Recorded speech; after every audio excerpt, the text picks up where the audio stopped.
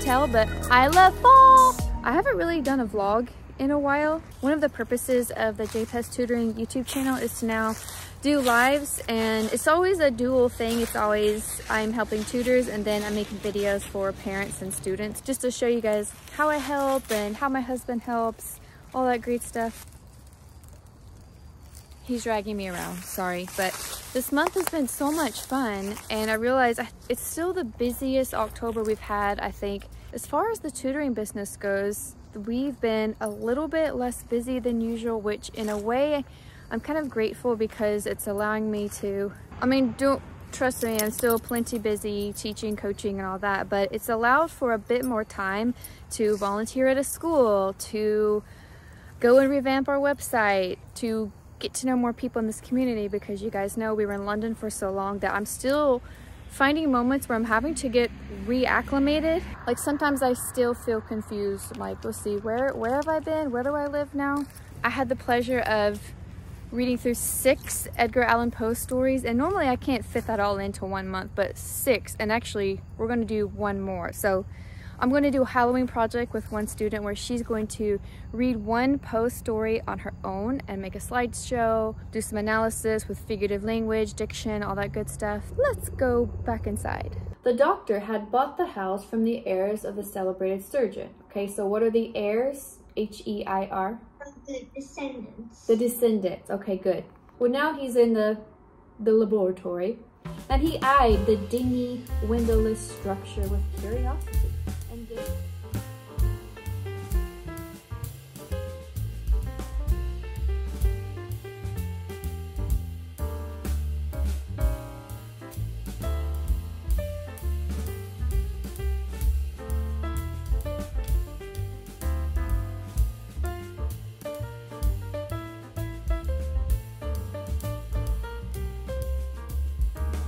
I thought I'd just sit down and have a little chat with you guys. And if you're doing something like laundry or lesson planning, whatever, you can actually have this on in the background because I'll be showing some things. Hopefully it'll be just something you can listen to because I know a lot of you guys are busy and the idea of watching a video sometimes is a whole lot. I'll talk about three things that have surprised me this year, this month. And then I'll show some of the books that I'm using to teach. So stick around for that if you guys love that sort of thing.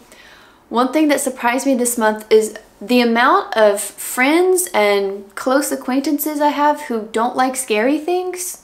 I was a little surprised. Sometimes you just don't know because for this month we are reading Edgar Allan Poe's stories and honestly if you read those you actually read you know more than the Telltale Heart which that one is violent but if you pay attention to those stories you realize actually these are pretty dark like not appropriate for everybody but for some reason, I've always enjoyed them, or at least I thought I did.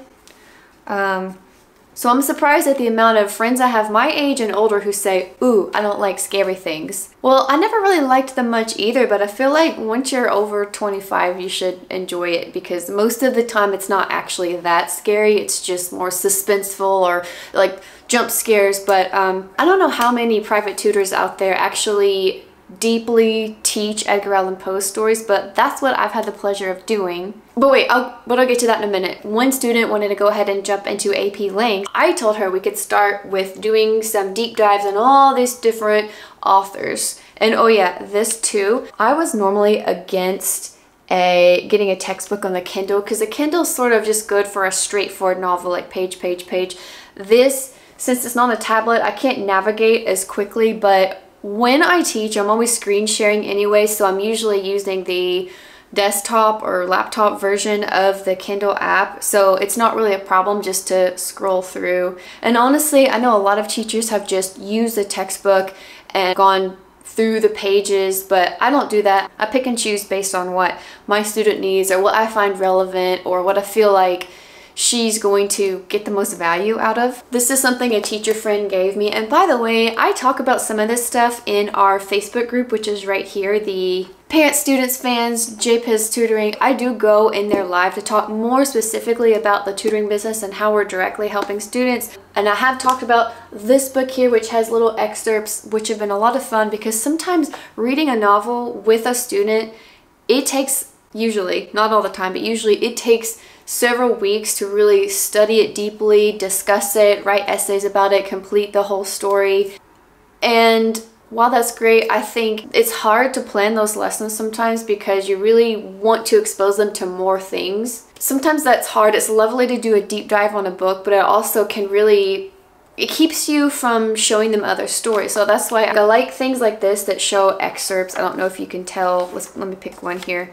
This one was pretty fascinating, even though I'm not like a big LA person. I thought this was pretty neat. So if you want to know more about this book, I have taught several of these stories and I've shared them with my students and gone over them. We've analyzed them. We've talked about tone and diction, all that. So let me know if you need help with it because I love that kind of thing. On to Edgar Allan Poe.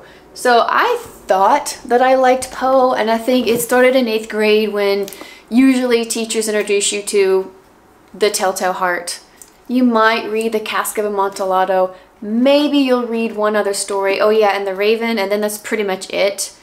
And even that can be enough to inspire you to read more. So when I started JPEZ tutoring, I actually grabbed this book from Barnes & Noble, and then I got this one for free from, I don't know, somewhere like a used bookstore. And it's kind of like that expectation versus reality thing. Like, I like to think that this giant book that has all the short stories and poems, like, I think that a part of me wants to sit in my cozy chair or outside with a cup of coffee and reading this elegant book page after page. And I'm ah oh, look at this. Like look at this look at this amazing book with like the shiny edges. When reality is this reality is oh I've bookmarked it I've bent the pages it's in bad shape I got it for a dollar 75 like that's the useful things are usually the cheapest things somehow I've marked it up. This brings me to, here's the thing, um, Edgar Allan Poe is not really for those who love just wholesome, innocent stories. I think a lot of literature that I go through with students and, and a lot of it that I encountered as a student was very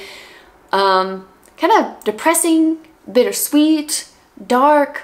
I don't know why literature lends itself to that, probably because we live in a fallen world and stories without conflict aren't really stories. But this month has really surprised me with just the amount of learning that I've even done just by studying these Poe stories so much more close, so much better, more in depth, more in depth than I ever have before. And I gotta say, this is really the dream. This was what I wanted to do when I was in the classroom. I was teaching to my very first group of ninth grade students and I printed out pages and pages of uh, Edgar Allan Poe packet. I said, we're gonna read this, but it was rough. Like it was absolutely it was just me performing the story and them not understanding the language because back then I didn't really realize that an average group of students today in America is going to struggle with the language from this author. They just will. And I can't really get mad at them about it or scold them or scold their parents. Now, one of my endeavors is let's just make sure that the students that come to me,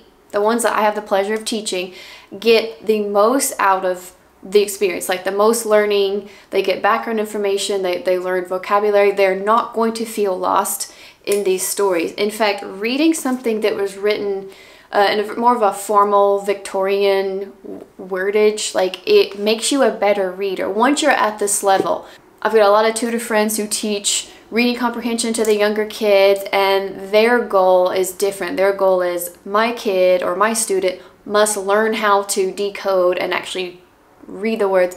With me, with teaching ages 11 and up, it's more about, okay, I've got students that know how to read, that can read well, they don't always retain and they don't always comprehend deeply or they they miss stuff. And I'm really good at interpreting or getting deeper in the language with them in the actual literature. You know being an online literature tutor that's that's a lot of what I do. I'm teaching that Michael Clay Thompson homeschool curriculum which allows us to use all of the things but with English with ELA it can be overwhelming because there is so much. There are a lot of choices out there and with a one-to-one -one student who is advanced enough for this I recommend if you're an English teacher do a deep dive on a certain author because it's really not enough to say I like Edgar Allan Poe I like Jane Austen I like someone else. It's not enough to say, I like that author when you really haven't read more than three of their stories. You know what I mean? So being able to teach independently like this has really shown me that there are kids out there who really do want to do deep dives on Poe stories or who really get a lot out of it.